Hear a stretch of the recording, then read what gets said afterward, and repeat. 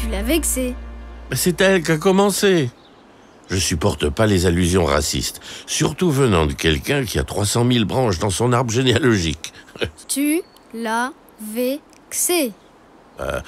Écoute, euh, moi je m'appelle Alexandre. C'est un prénom grec qui veut dire protecteur de l'homme.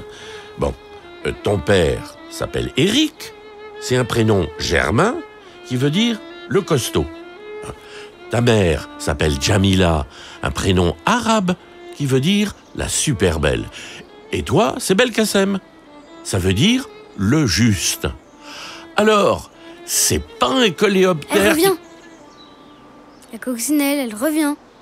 Sur mon doigt Je me sens un peu ballonnée. Une cinquantaine de pucerons bien gras, ça cale. Allez, je replie mes ailes sous la carapace et hop, un petit somme. Et tant pis si l'araignée me fait des réflexions.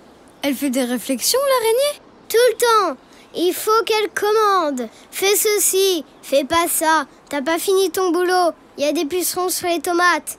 T'as qu'à faire ta sieste sur les tomates. Rouge sur rouge. Elle te calculera pas, l'araignée.